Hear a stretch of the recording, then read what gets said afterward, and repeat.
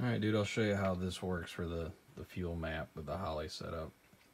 So right now I got it sitting at 1200 RPM on the simulator. Injectors are off, our VE table, our main fuel table is all zeroed out right where the map sensor's sitting at 100 kPa and 1200 RPM. So we start increasing that a little bit, the injector should start firing. Okay, so they're just barely triggered on now. And if we look at our pulse width, we're at 0.77 milliseconds and we're at 0.3 pounds an hour of fuel flow. As we increase this, this should start increasing. There a little louder. At 0.9 milliseconds, 6.4. That's just what I got in this fuel map here, this little generic fuel map. I'll show you what the graph looks like. Get a 3D view of it. It's all zeroed out in this range here during normal operation as we come into boost and um, engine RPM increases and it comes up.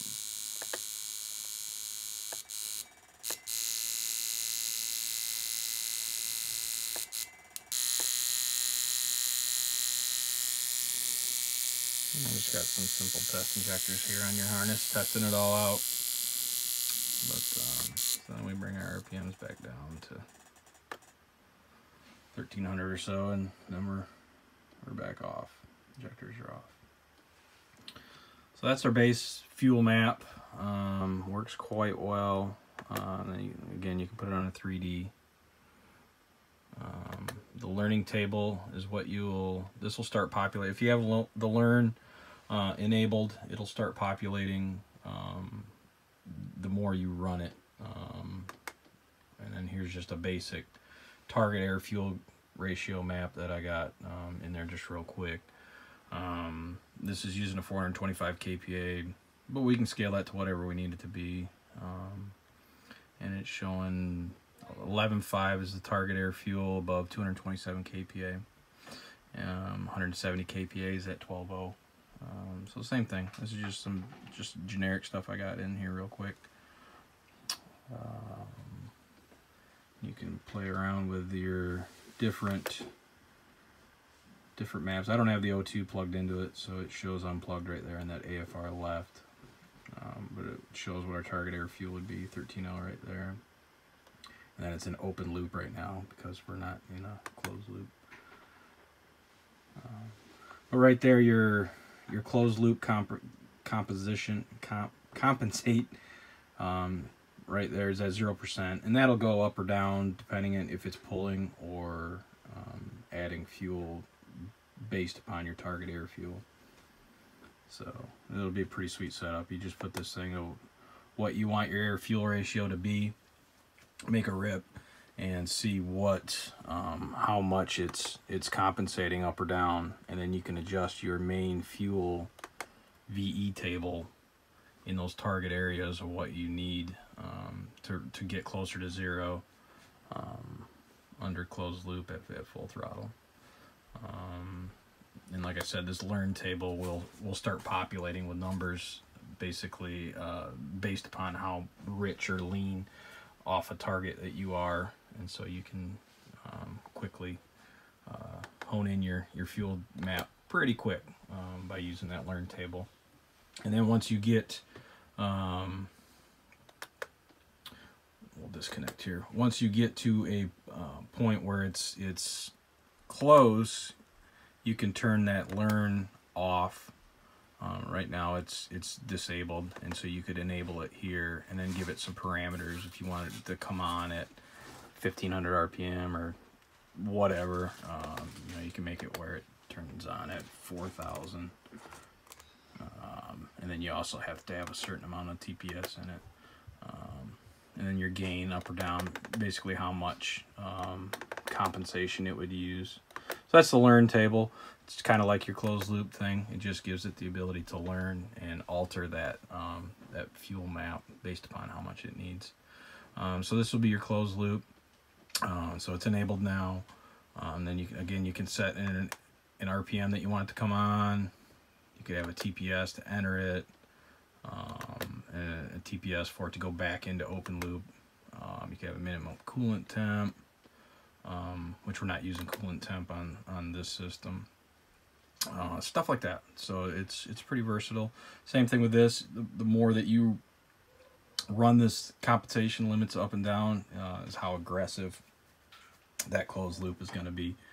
Um, so if you have it up high for roughing in the tune uh, quickly, um, it'll it'll be more aggressive on its changes. And then once you start getting closer, then you can start backing that down. That's that's just kind of some basic rundown of what we're we're doing. Um, that's uh, ECU configuration. It's an HP system. Here's your our basic um, engine setup. Eight cylinders, 376 cubes, speed density. Uh, we are using the NTK sensor and leave it on gasoline. Um, and then this is where you'd enter in the injector information. I'll get that set up for you too. I just got some basic stuff in there. Um, I got to alter the the um, off times for your injectors, um, stuff like that. And then there'll be another uh, injection end table um, graph that once I get that cam card information, then we'll enter in that, and then that'll open up another table that um, for injection, basically your injection timing stuff. But that's uh, that's a little quick rundown. But uh, this this fuel map is is pretty much what you're going to be altering um, you know, as your main fueling um, for for what you're doing. And I just wanted to show you, it's, it's kind of cool that, that uh, once we go live with it, that uh,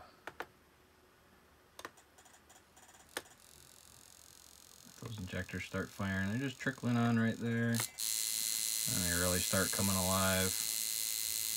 And if we were to just go in on this table here and really crank them up, and they're, they're really there.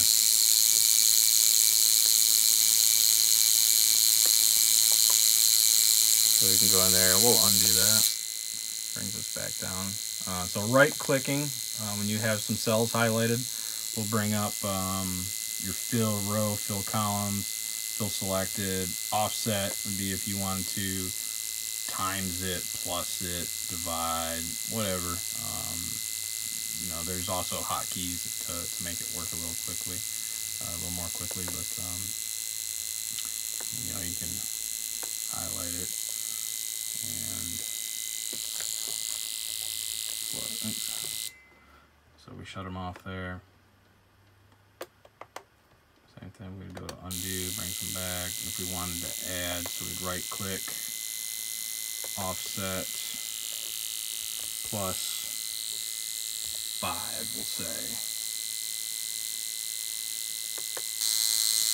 So then that just added five across the board to that. Real easy to use, software works works awesome.